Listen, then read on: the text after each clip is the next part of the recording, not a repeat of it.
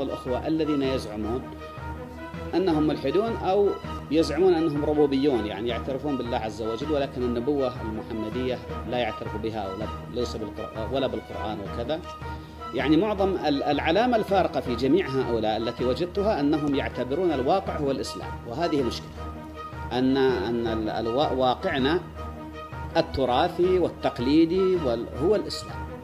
ليس عندهم أي استعداد لمعرفة الإسلام الأول أو البحث عنه أو توظيف القطعيات أو البداية بها.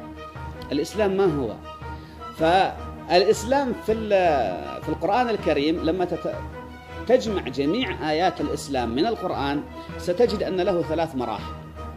وهي مراحل إنسانية طبيعية عقلانية سمها ما شئت. أن ديننا الإسلامي مش معناه؟ معناه أن تقبل على المعلومة. بالصدق لاختبارها والتفكر فيها وتدويرها ثم تسلم بها إن كانت صحيحة ثم لابد أن تنعكس على سلوكك.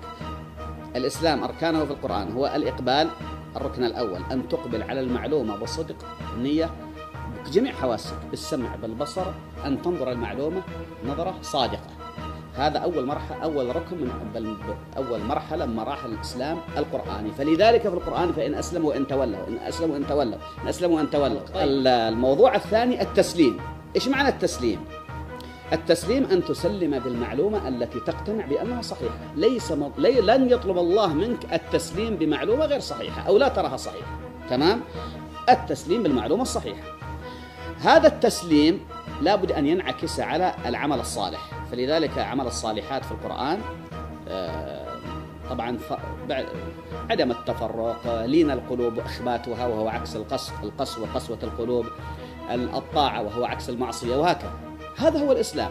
بالله عليك.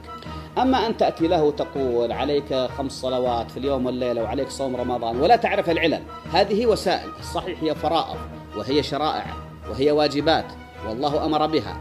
ولكن يا أحبابنا هناك فرق. بين الوسائل وال والأوامر الكبرى الغايات أسميها الغايات العليا.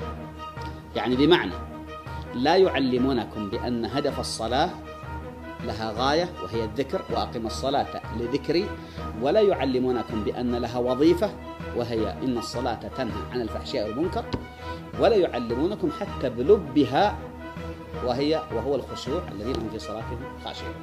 كل هذه الثلاث الأمور الغاية. والوظيفة واللب الأصل أهم ما فيها لا يعلم. هل ترون بأن المسلمين آه، يصدقوا يعني يقبلون على المعلومة بصفاء ذهن ونية أم لا؟ وهل يختبرونها ويسلمون بالمعلومة الصحيحة أم لا؟ قليل قليل جدا. موجود يعني قليل.